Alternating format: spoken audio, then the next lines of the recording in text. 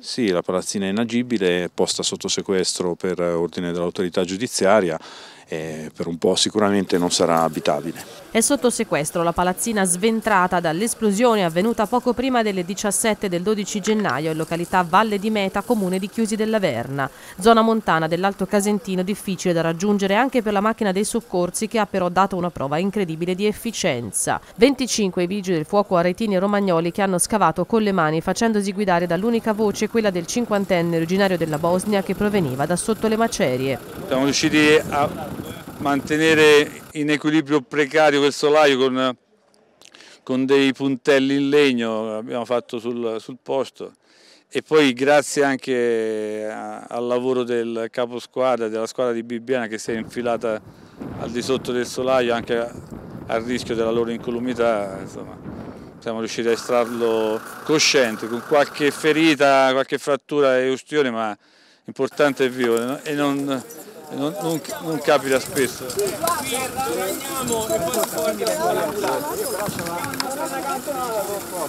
L'uomo è stato poi affidato alle cure del 118 e trasportato con il Pegaso all'ospedale delle Scotte di Siena.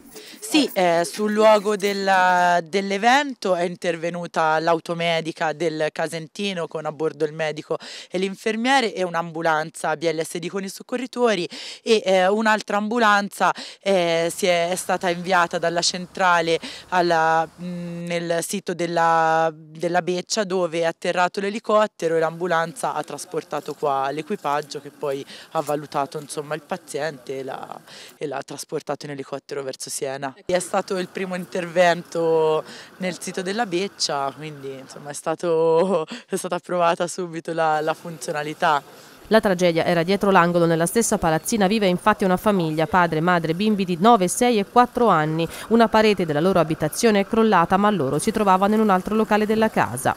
Ho sentito un boato incredibile, sono uscita, una scena apocalittica, stava crollando tutto, una casa sventrata, bambini che piangevano, però poi grazie a Dio non, i bambini non eh, sono, sono salvi. Secondo i primi rilievi a causare lo scoppio potrebbe essere stata una fuga di gas. Le due famiglie utilizzavano il GPL ed è probabile che ci sia qualche malfunzionamento dietro alla tragedia. In queste ore i vigili del fuoco stanno cercando di fare chiarezza su incarico della procura che ha aperto un fascicolo. Sul posto anche il sindaco Giampaolo Tellini che si impegnerà per trovare una temporanea sistemazione alle due famiglie evacuate. Da domani dobbiamo trovare una soluzione perché qui il fabbricato non è più agibile per nessuno.